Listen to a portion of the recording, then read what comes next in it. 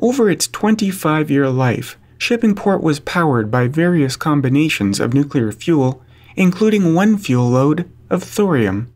He wanted to prove he could make a light water breeder.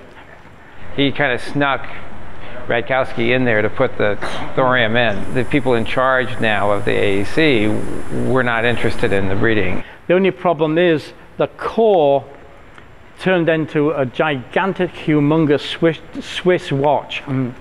That had to be that accurate with a million little springs holding it all together. He was trying to shoehorn different nuclear physics into an existing system. It made it very complicated and uh, very difficult to work.